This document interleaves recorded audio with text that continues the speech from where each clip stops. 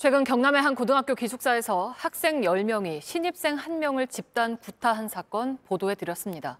그런데 경찰이 학교를 상대로 관련 자료를 받으려고 압수수색 영장까지 신청한 것으로 저희 취재 결과 확인이 됐습니다. 아주 드문 경우인데 어떻게 된 일인지 배승주 기자가 취재했습니다.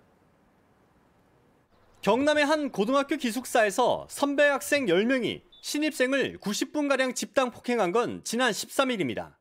가슴이 아파가지고 죽을 것 같고 배도 너무 아프고 일주일이 지나 부모가 경찰에 신고했습니다. 그런데 학교 측은 경찰 수사에 협조하지 않았습니다. 가해 학생 신원과 이들이 쓴 진술서를 달라는 요청을 거부한 겁니다. 학교 측은 진술서에 이름과 연락처 등 개인정보가 있어 줄 수 없다고 했습니다. 관련법에 따라 개인정보라도 수사기관에 제공할 수 있지만 거부한 겁니다.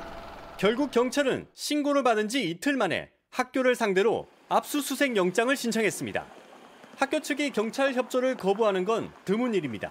어떤 친구를 또 빨리 조사하고 피해자의 진술과 이게 맞는지 확인할 수 있는 거니까 또 빨리 하기 위해서 어쩔 수 없었죠. 해당 학교 전수조사에선 과거에도 학폭이 있었다는 진술이 나왔습니다. 피해 학부모는 더 이상 학교를 믿을 수 없다고 말합니다. 불합리적으로 보국적인 태도로 무마하려는 거 그런 게 느껴졌기 때문에 결국 압수수색 영장은 기각됐고 경찰은 가해 학생을 상대로 다시 진술을 받고 있습니다.